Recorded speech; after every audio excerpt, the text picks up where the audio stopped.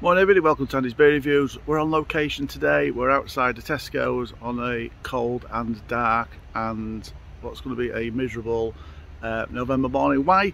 Because of a challenge by Scott and Wanda, Scott and Wanda's uh, lovely channel, um, who wants to know if uh, we went into a Tesco's, what beers could we buy for £10, our favourite beers or just some really nice beers that we think we might like. So here we are. Um, so I'm going to switch the video off, I'm going to get masked up and we're going to see what we can get for £10. See you later. So here we are on the beer aisle, not a place I am at all unfamiliar with and we're just doing a little scan, just see if there's anything new. Nothing, not a lot I haven't tried. But let me pick some out and we'll see what I, uh, I choose in a little while. See you soon. Well they are, £10 challenge done. Scott and Wanda, I spent £9.84, which I'm quite pleased about actually. I didn't it's a good challenge. I didn't realise what decent beers you could get for a tenner in Tesco, so excellent challenge, so thanks for setting it. Right, let's see what we got and why we got it. More importantly, let's see what the unit prices was, everything as I pull them out. So I went for pulling out. So I went for a Spitfire. I paid £1.25 for that Spitfire. Um, I started to get a little bit sentimental when I was in there, and there's a couple in here that won some of my first beer reviews that I did. Um, and Spitfire's been one of them, Shepherd Neame Brewery. Um, it's a decent beer, in my humble opinion, 4.5% ABV, sessionable, very, very tasty amber ale. I went for that one. Oh, controversial, controversial. I went for a Brewdog. Um, I was tempted to go for the Parma Violets because I do like it actually. Um, I know many people do, but I do like it actually. I, I think it's an okay beer. I think it's quite a nice beer. And I think if you're going somewhere like a party or a get together, not we've had many of them, or a barbecue or something like that, pulling out a Parma Violets uh, Brewdog, I think just gives you a little bit of uh, bit different, doesn't it? But I went for this, which is the Brewdog uh, Double Hazy.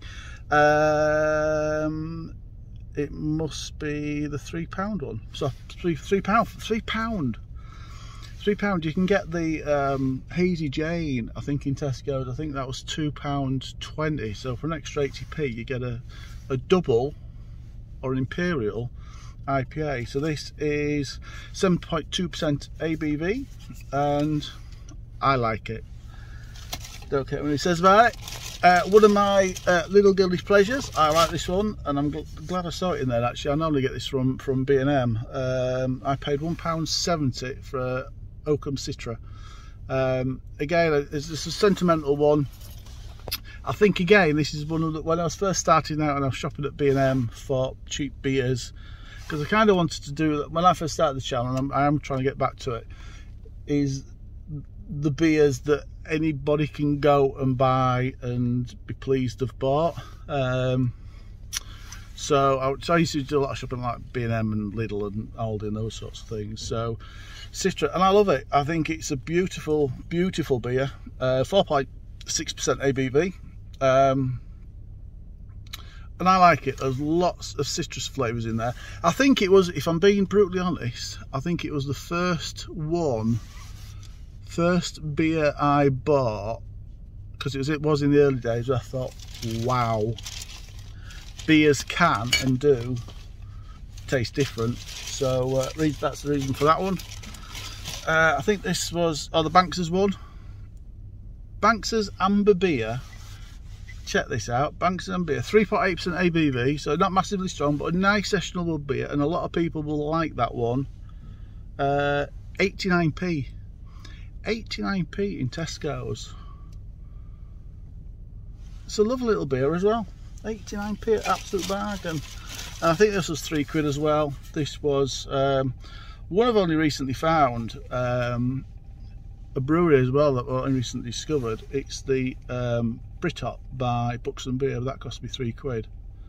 But it's a gorgeous little beer, so flavoursome. It was one of my favourites of um, 2021 for a year and then 2021.